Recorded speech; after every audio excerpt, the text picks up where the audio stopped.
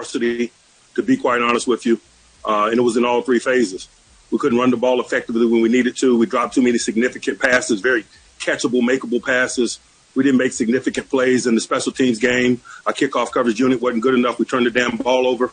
Um, we gave up big plays in critical moments on defense. Can't have it. Uh, they converted a, a, a, long run on a, on a possession down before the half. Unacceptable. They had a 70 yard touchdown late in the game. Unacceptable. And so um, we're, we're, fortunate tonight. Um, it's good to, to proceed um, with the victory. I acknowledge that. Uh, but not a lot happened tonight to be proud of or to be excited about other than that. You know, Jerry, I, I don't know. I don't want to make excuses. Um, we just weren't good, and it starts good enough at all today. I mean, obviously we won, but um, sure doesn't feel like it. Just, just, just not good football. It starts with me. Um, you know, it's this is a, a mental game, and this has been a very mentally challenging and draining week. But um, you know, at the end of the day, we need to step on the football field and play good football when it's time.